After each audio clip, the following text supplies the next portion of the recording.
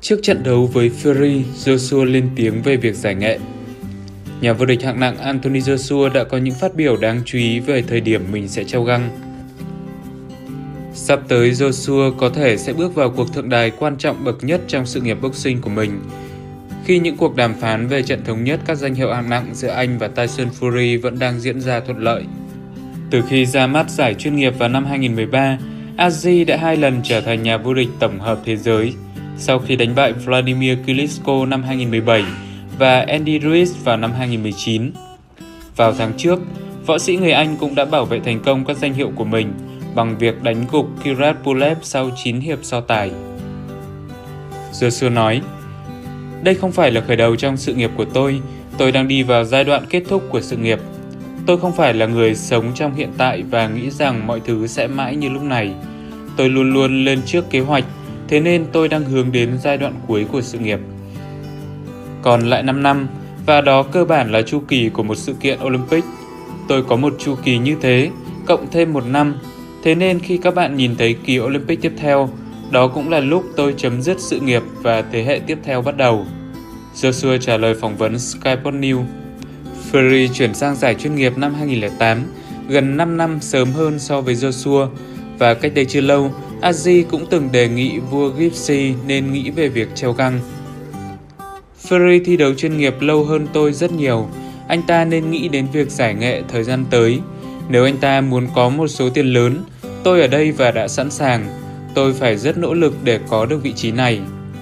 Dù vậy vào năm trước, Fury từng khẳng định rằng anh muốn thống trị hạng nặng trong một thời gian dài, giống như Vladimir Klitschko đã làm trước đây.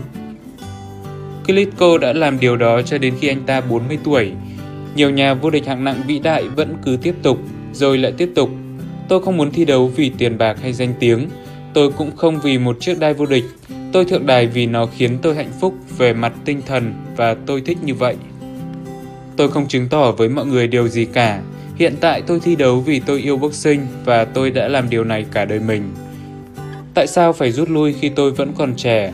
Hy vọng rằng tôi sẽ chiến đấu cho đến khi tôi và những người trong đội cùng đồng tình về việc dừng lại. Khi tôi đang ở trên đỉnh cao của hạng nặng, tôi sẽ rong buồm ra khơi dưới nắng chiều, sau đó thì không ai biết được điều gì sẽ xảy ra cả. Fury chia sẻ. Các bạn hãy nhấn like và đăng ký kênh để theo dõi thêm nhiều video hấp dẫn.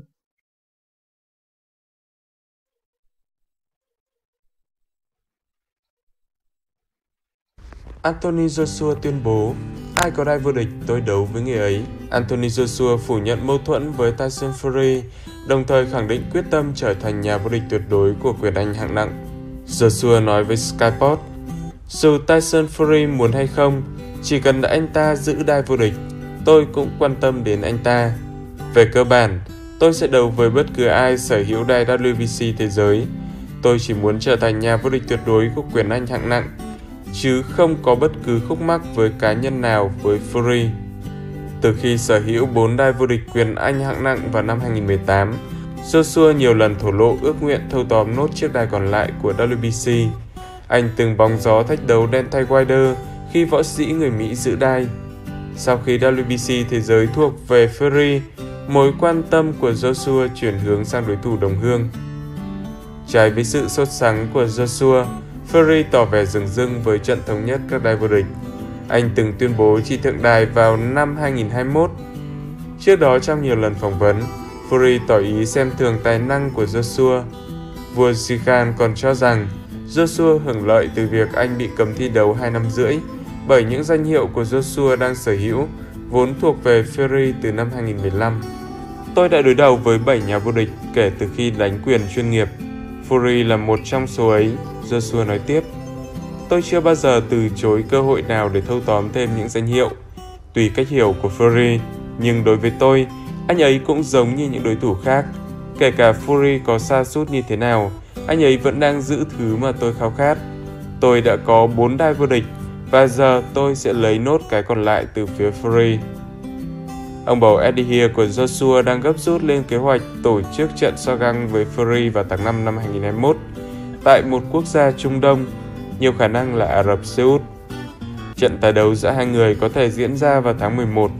Tuy nhiên, trước khi nghĩ đến trận đấu, Joshua cần phải gian xếp để lùi trận bảo vệ đai WBO trước Oleksandr Usyk. Các bạn hãy nhấn like và đăng ký kênh để theo dõi thêm nhiều video hấp dẫn.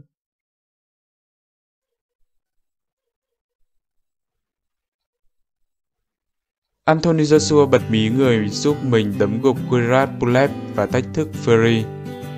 Nhà vô địch WBA, WBO và IBF đã dành những lời có cánh đến huấn luyện viên kỳ cựu Robert McClarken.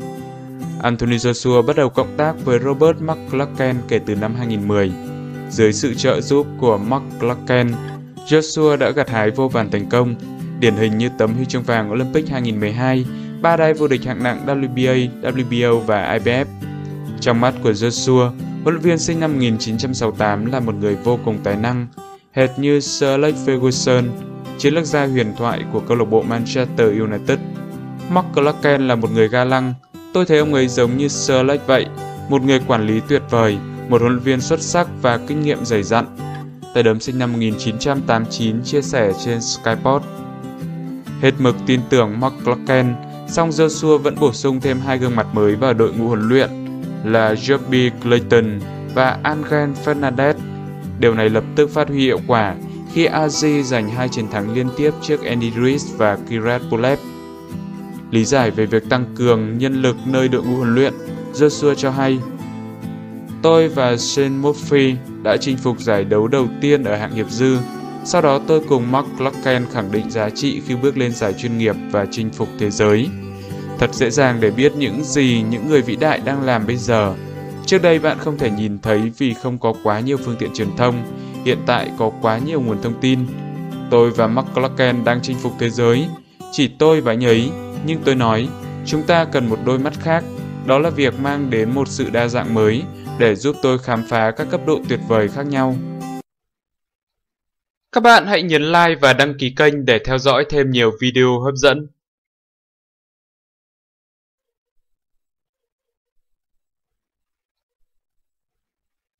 Anthony Joshua chỉ ra huyền thoại bóng đá của Manchester United có thể trở thành võ sĩ boxing xuất sắc. Trong một cuộc phỏng vấn cách đây chưa lâu với DHSN, Anthony Joshua cho rằng cựu danh thủ Roy Keane có thể trở thành một võ sĩ boxing chuyên nghiệp. Trong quá khứ, Roy Keane từng là học trò được Sir Alex Ferguson rất quan tâm, đồng thời anh cũng là đội trưởng của câu lạc bộ Manchester United, từng giành nhiều danh hiệu cao quý ở thế hệ trước. Dù ngôi sao người Ireland là một tiền vệ đa năng, nhưng trong mắt của nhiều fan hâm mộ thì anh nổi tiếng với những pha tác bóng cứng rắn và lối đá thiên về thể chất. Với những người chơi Football Manager, Roy Keane chính là vua đoạt bóng ở tuyến giữa. Do đó có thể thấy điều này đã phần nào gây chú ý với nhà vô địch hạng nặng Anthony Joshua.